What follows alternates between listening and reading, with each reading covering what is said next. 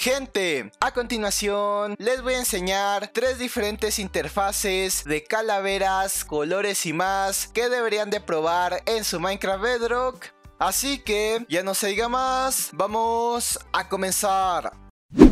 Pues bueno chicos, en primer lugar les traigo una interfaz llamada Color Splash que como ya se imaginarán, pues esta nos añade un diseño más colorido a nuestro Minecraft. Aquí se las voy a enseñar. Primero tenemos la pantalla de inicio que tiene una nueva imagen de fondo. Además de que el logo de Minecraft pues ahora tiene más colores. Si nos metemos a lo que vienen siendo los ajustes, podemos percatarnos del nuevo diseño que tienen los recuadritos y también el este botón que sirve para activar o desactivar alguna opción. Y ya dentro del juego aquí pueden estar viendo el menú de pausa, pero creo que lo que a todos más les interesa viene siendo la zona de la hotbar, ya que como ven pues tenemos muchos cambios, desde los corazones, los mulditos de comida y también la armadura que parece como si fueran eh, algunas gemas o no sé qué. Después también pueden ver la nueva barra de experiencia y los slots de la hotbar que ahora son de colores pero bueno, también seguimos con el inventario, que como ven, pues es de color verde azulado. Y aquí en el espacio de las armaduras, pues cada una viene con un color diferente. También tenemos un nuevo diseño para estos botoncitos de arriba. Y pues este vendría siendo el inventario de creativo. Ahora también les voy a enseñar el inventario de algunos bloques como la mesa de encantamientos, el yunque, el horno o también el puesto para las pociones. En segundo lugar, gente, les traigo una interfaz llamada Brewing Guide que la verdad no sé por qué no la había traído antes, ya que esta lo que hace es añadirnos una pequeña guía para hacer pociones. Pero bueno, como ven, aquí tenemos una tuerquita, en la cual podemos seleccionar el modo en el que queremos que esté nuestra guía. El primero de Light Mode pues sería uno normal, después está uno de modo oscuro y enseguida tenemos los mismos, pero para los que jugamos en Windows 10 Así que seleccionen la opción dependiendo de que si juegan en Android o en computadora. Pero bueno, yo primero les muestro la opción de Light Mode de Windows 10 que se vería así ya dentro del juego. Y pues como ven, la guía es básicamente un recuadrito que se pone al lado del inventario del puesto de las pociones. Pero pues bueno, aquí ya podemos ver cómo se pueden hacer las pociones de fuerza, velocidad, las de nivel 2, también las arrojadizas y pues todas las demás pociones que hay en el juego. Ahora les muestro el modo oscuro, que les recomiendo que lo combinen con alguna textura que tenga el inventario negro para que así se vea más chido.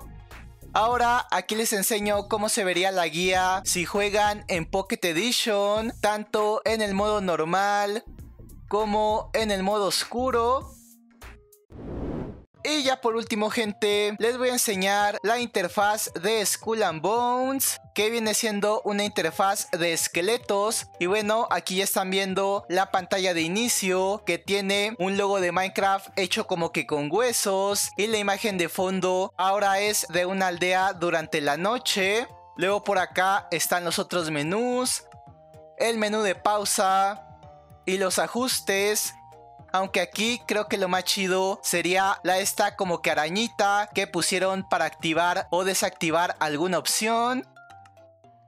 Enseguida ya podemos ver la zona de abajo donde ahora los mulditos de comida son solamente huesos y los corazones son calaveras. La barra de experiencia también está formada por huesos y en los slots de la hotbar pues hay una mosca que sirve como selector y por supuesto, ya casi se me olvidaba decirles, el crosshair, también el crosshair es uno nuevo con temática de huesos. Ahora vámonos con el inventario, el cual es como que de un color café y está un poquito más sencillo. Ahora por último vamos a ver algunos inventarios como el de la mesa de encantamientos, el puesto de pociones, el yunque o también el horno Pero pues bueno chicos, esas serían todas las interfaces del video del día de hoy. Así que si les gustaron, no se olviden de dejar su apoyo con un like y una suscripción. Pero bueno, ahora vamos con los saludos, los cuales son para Cast Cylinder 115, Andrés, Víctor Fernández, Android 235, Kevin Axel, Antonio JS y Eliasot. Ahora gente, voy a pasar a enseñarles cómo se descargan e instalan estas interfaces.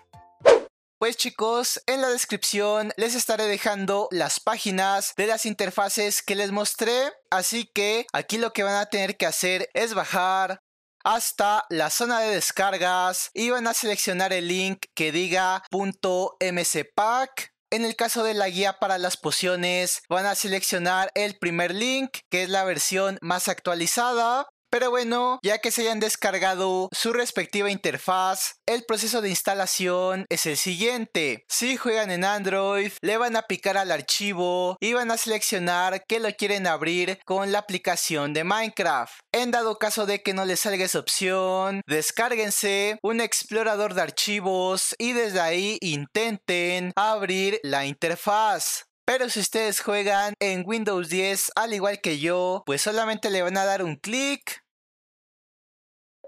Y listo, ya lo habremos importado. Y eso sería todo chicos, muchas gracias por estar en otro video más y sin ya nada más que decir, me despido, yo soy Hashito y nos estaremos viendo en un próximo video, hasta la próxima, adiós.